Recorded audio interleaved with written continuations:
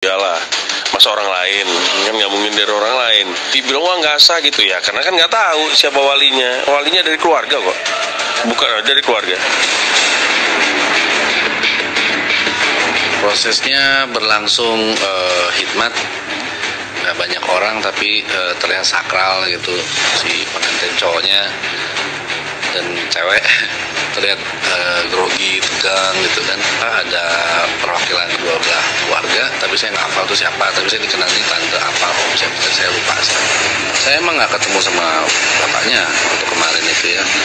Saya nggak tahu waktu itu siapa walinya ya. Tapi ada ada perwakilan masing-masing penghulunya dan setelah ijab kabul selesai ada dokumen yang ditandatangani oleh eh, para pihak gitu itu sih yang saya lihat ya Aku sih nggak mau ngambil pusing ya omongan orang karena kalau mau pusingin omongan orang ya mau sampai mana sih gitu kan omongan orang ikutin aja gitu.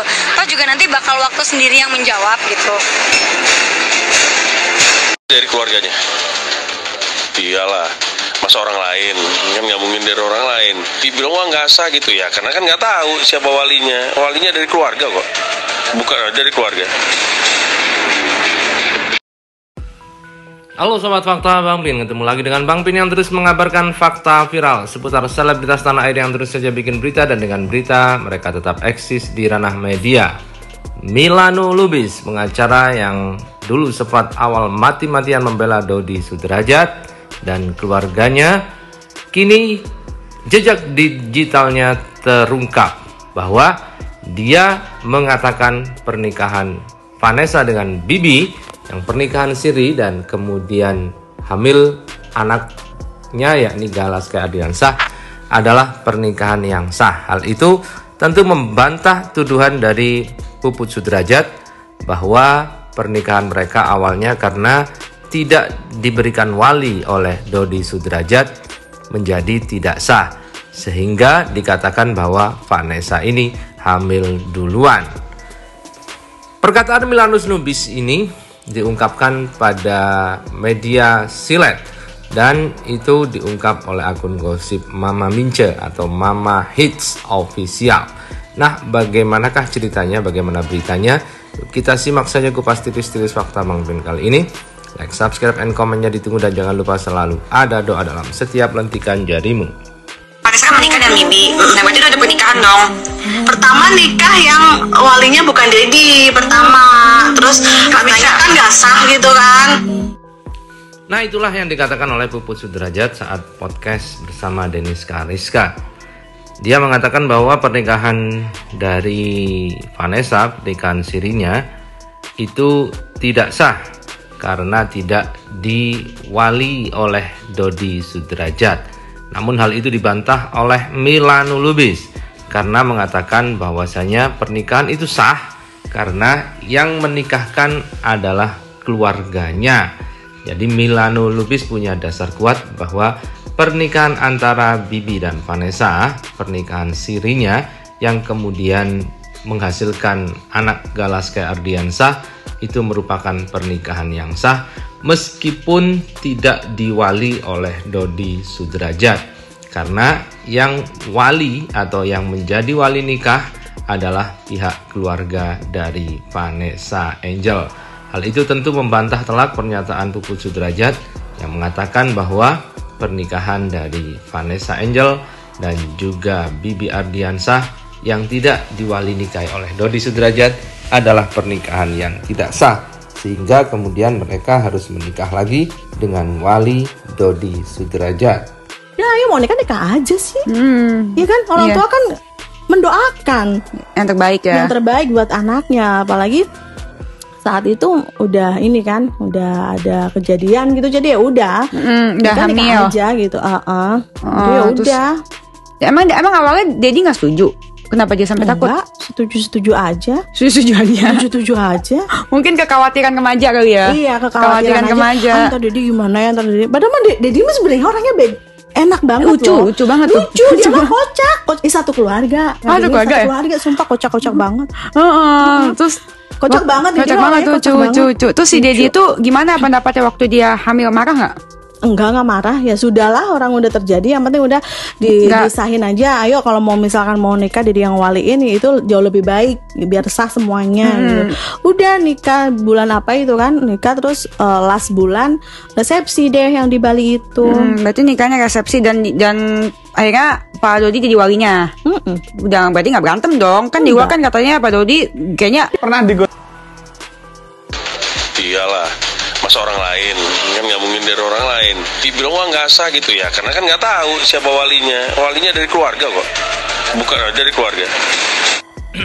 Nah itulah pernyataan Milan Lubis yang mengatakan bahwa pernikahan itu sah karena walinya adalah pihak keluarga Vanessa sendiri.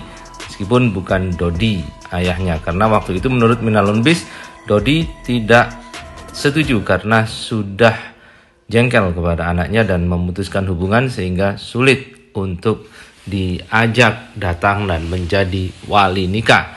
Karena kondisi yang seperti itu, maka Milano Lubis mengusahakan dari pihak keluarganya. Hal itu juga dikuatkan adanya pernikahan siri itu dikuatkan oleh seorang tokoh artis Nanda Persada yang juga hadir dalam acara tersebut. Nada mengatakan memang tidak melihat ayahnya, tetapi melihat banyak keluarga dari kedua belah mempelai, yakni Vanessa dan Bibi Ardiansa. prosesnya berlangsung eh, hikmat nggak banyak orang tapi eh, terlihat sakral gitu. Si pengantin cowoknya dan cewek terlihat eh, grogi tegang gitu. Kan ada perwakilan kedua belah keluarga tapi saya nggak hafal tuh siapa. Tapi saya dikenali tante apa om siapa saya lupa saya, saya emang nggak ketemu sama bapaknya waktu kemarin itu ya. Saya nggak tahu waktu itu siapa walinya ya. Tapi ada ada perwakilan masing-masing penghulunya dan setelah ijab kabul selesai ada dokumen yang ditandatangani oleh eh, para pihak gitu. Itu sih yang saya lihat ya. Aku sih nggak mau ngambil pusing ya omongan orang karena kalau mau pusingin omongan orang ya mau sampai mana sih gitu kan? Omongan orang ikutin aja gitu. Toh juga nanti bakal waktu sendiri yang menjawab gitu. Dari keluarganya? Iyalah masa orang lain? Kan nggak mungkin dari orang lain. Dibilang wah nggak sah gitu ya. Karena kan nggak tahu siapa walinya. Walinya dari keluarga kok. Bukan dari keluarga prosesnya berlangsung eh, hikmat nggak banyak orang tapi eh, terlihat sakral gitu. Si pengantin cowoknya dan cewek terlihat eh, grogi tegang gitu kan. Ah, ada perwakilan kedua belah keluarga tapi saya nggak hafal tuh siapa tapi saya dikenali tante apa om siapa saya lupa. Saya, saya emang nggak ketemu sama bapaknya waktu kemarin itu ya. Saya nggak tahu waktu itu siapa walinya ya tapi ada ada perwakilan masing-masing penghulunya dan setelah ijab kabul selesai ada dokumen yang ditandatangani oleh eh, para pihak gitu. Itu sih yang saya lihat. Iya. Kan, di- jadi cuman orang orang-orang sekitar kita aja yang tahu tanpa orang tua tahu. Jadi pas pestanya emang pas lagi hamil. Jadi pas emang udah resepsi, memang aku udah hamil gitu, tapi aku udah nikah duluan gitu. secara dadakan karena Vanessa isi duluan. lo dari mana Eh, siapa yang ngomong? Tunggu tunggu sebentar. siapa yang ngomong? Siapa coba? Ada artikel, ada. Kak, siapa yang ngomong? Ada. ada artikel apa kamu sendiri yang julid.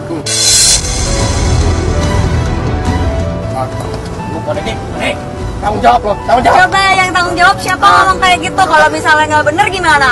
Aku tuntut ya. Aku tuntut ya